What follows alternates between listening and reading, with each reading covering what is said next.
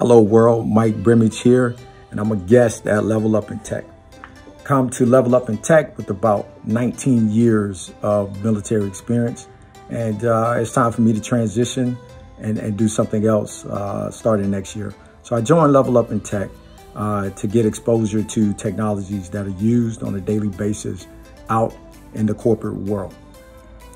Um, my biggest breakthrough uh, in the program so far is just the ability to uh, manipulate the cloud um, in, in, the management console and also using AWS CLI tools.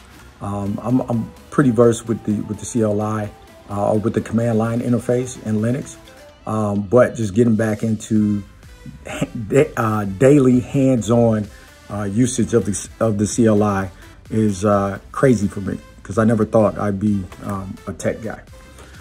So the coaches in the program, they're awesome. They're motivating. They've all been through the pro programs themselves. And uh, their goal is to help you succeed. They're willing, they're able, and they make themselves available to answer any questions you have, no matter uh, the time of day. Um, usually we're on Microsoft Teams and uh, we meet together twice a week. And uh, there's not enough good things I can say about Level Up in Tech and the coaches.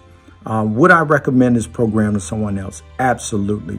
Um, I um, need uh, um, an accountability partner, and that's what you get with Level Up in Tech. You get you get a system that holds you accountable to get the work done that needs to be done. Um, if it were easy, anybody could do it. It's not easy, um, but if you dedicate time and focus to the program, uh, I believe that you can succeed. Thank you. This is Mike Brimage. I'm leveling up in tech.